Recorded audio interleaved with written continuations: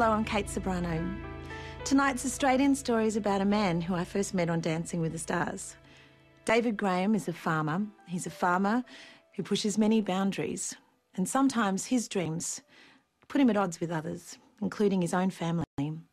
This is his story. Come up.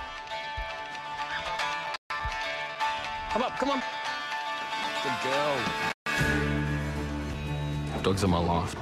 You come home to your own dog and it's so excited to see you and it says, you know what, I don't judge you. I don't, I don't think that you did so bad today or anything like that. I don't care about any of that. All I care about is that you're home and you're safe and you're here with me. And David's childhood was tough. Well, I'm not saying he's a dog boy, but yeah, he just learnt to just be like the dogs and they became his best friend. I can remember one time he was being naughty, and I said, If you keep that up, you can go and sleep outside with the dogs. So that was a pretty good incentive for me to be naughty. Because I thought it was fantastic. I'm like, yes, I don't have to sleep alone in my bed. I get to go and hang out with my mates. I realised then he was deliberately trying to be naughty so he could go outside with the dogs. So that came to an, an abrupt end.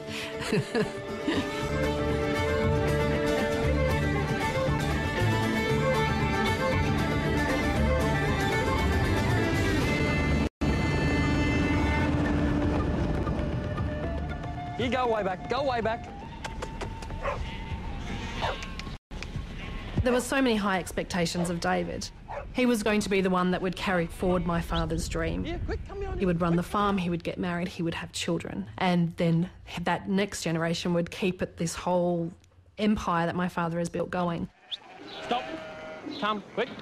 I think I was born specifically to take on the farm. That's what I was always led to believe as a kid. It was it was my duty to take it on. Hey, you go back to mum. Go back to mum. It was something that I wanted to do, but at the same token, it didn't definitely didn't close off the rest of the world to me. Here's this kid from Goondiwindi on this big glitzy TV show in the city. I think that it was a positive experience. It definitely helped me deal with many of my demons. David came out on live television. My heart sank, honestly, and you do question people's integrity. I just feel like a whole lot of the things you said to me were bull. I knew David long before I ever saw him on Big Brother, which I think was a bad move, David.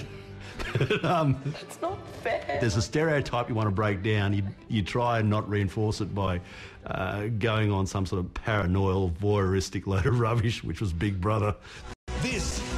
This is Dancing with the Stars live. Let's hear the Farmer Dave story. It's a man's world. Certainly did give David a springboard into the media spotlight, which he does enjoy. And he's like a moth, I guess. It does attract him, or they're, they're attracted to him.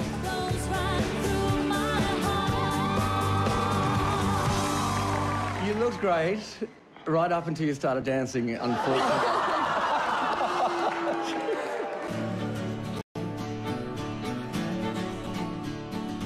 By the time I came along, Dad was in his 50s.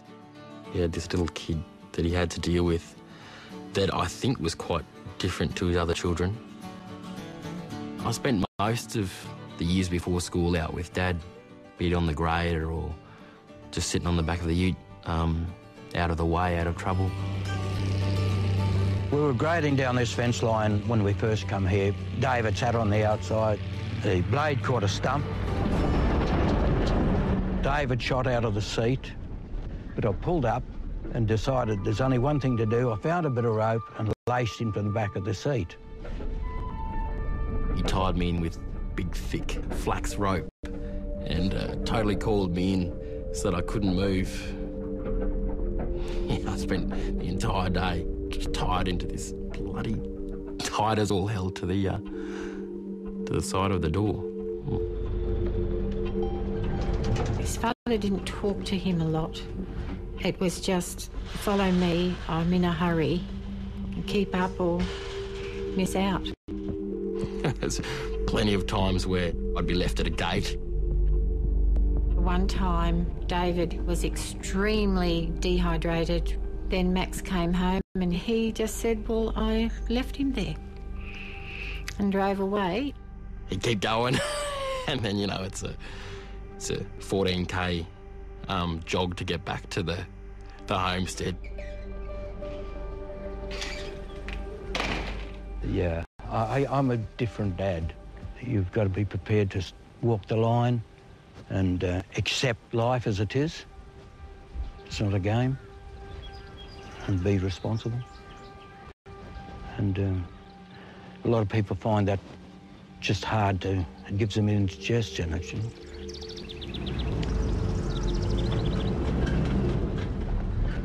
Dad would have got angry or being rough or or chastising me.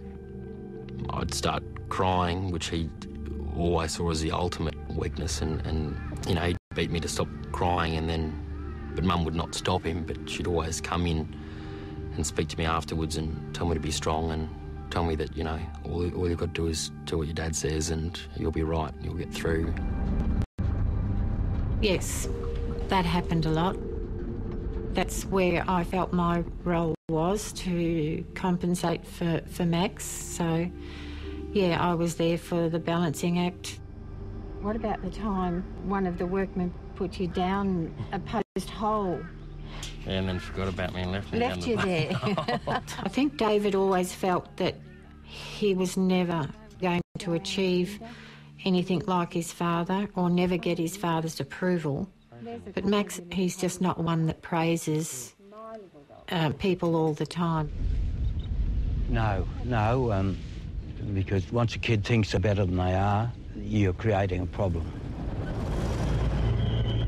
Each child works up to a level. When they've achieved that level, they prepare for the next one. And then you praise them when they've reached that.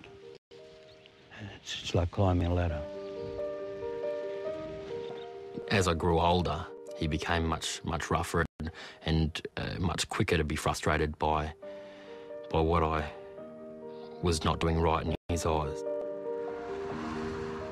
Going away to boarding school, you know, suddenly I was exposed to this whole world and, and learning stuff and, and not being chastised from my dad from learning. A lot of the time, there was something missing. I didn't think that I was gay at all. But the problem was that as I matured, that admiration of men that was inside me turned more and more to actual attraction. And then there was just this most disgusting and abhorrent battle that happened inside me. Everyone called him a fag and said he was gay, and you know he used to get picked on quite a bit at school. He was horrifically bullied at that school, and I'd witnessed it. I walked into the dorms and I could hear um, all these boys chanting and sorry, I'm getting emotional again. Um, picking on him. My brother just carrying in the corner with these oh, this huge group of boys. I just scooped him up, just scooped him up and took him away. What we're about to receive, may the Lord make us truly thankful. For Christ's sake, Amen. Amen. He left school, but uh, he made friends away from the locals. I think that's where David's took the slightly different approach. In 1999, one weekend, a mate of mine decided that, yeah, we'll head off to Sydney. Yeah, so I walked into a, a modelling agent with my boots and my jeans and my big belt buckle and my funny outback accent, and um, they fell for it. And next thing I knew, I was on a plane and off I went to Europe. Yeah, it was um, opposite what I would do. Yeah, I, I'm not for it. I, I must be honest. I wouldn't have him out with a crowbar and shovel.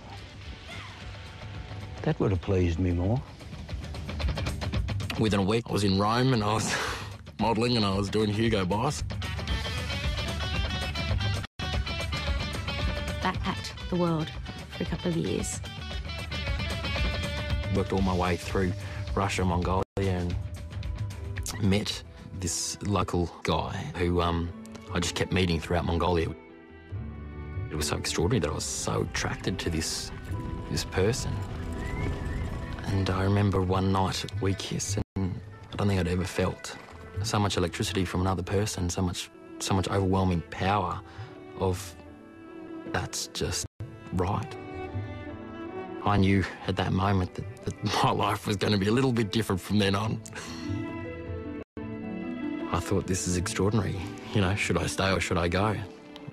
But then, you know, there was that attraction back to my, my farm and everything that I knew. So I arrived back in Australia. My dad allowed me to have my own 5,000 acres and to, to run my own project, which is uh, using exotic sheep breeds and, and land management practices. You know, he ran the whole sheep farm by himself for a few years. I had a fair idea that possibly he was gay, but he sort of never said anything. I do remember asking him once and he denied it. I think that was probably the hardest part of his life. He went through an internal battle for a couple of years, searching for anything to feel. Why am I feeling so sad? Why am I so blue? Why am I so angry? Why don't I fit? There would have been scores of times where, um, rather than shoot hungry sheep, I thought that, that I should be the one taking a bullet. How are you? Good. Good to see you. My mother had always been there for me. I realised that, that I couldn't go on any longer. Um, not having her know who I was and know where I was at in my life. I really had accepted my sexuality. So I told her, Very, very good. Of course, I was totally in a state of shock, I guess. Like I do when I can't deal with something, I um, just go blank. And that's how I went for some time. Mm. I